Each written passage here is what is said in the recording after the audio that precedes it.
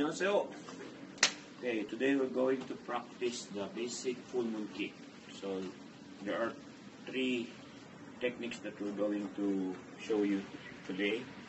So first the basic, second one is the distance opponent and the close range opponent. Alright? So start tayo sa basic. Start with the fighting position. Look at the target, face level.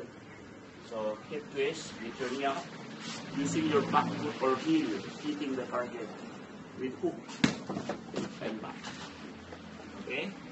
So again, hip twist, keep your knee up, look at the target, then make sure you hook your leg for the face. So from here, two counts, and two, and back. Keep your balance. So one count from here. Okay? Good. Sit. Okay? Then, next part is the close range opponent.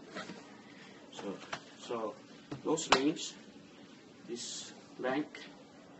Okay, so your opponent will attack some step 45 or axe kick.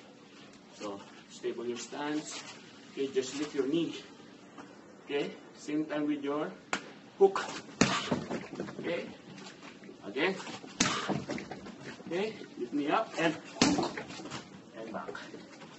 Okay, the next part is the step, long distance opponent. Okay, so from here, cross leg first. Okay, look at and and back. So make it faster. Do your cross leg. Make sure you hit the target right away. Okay.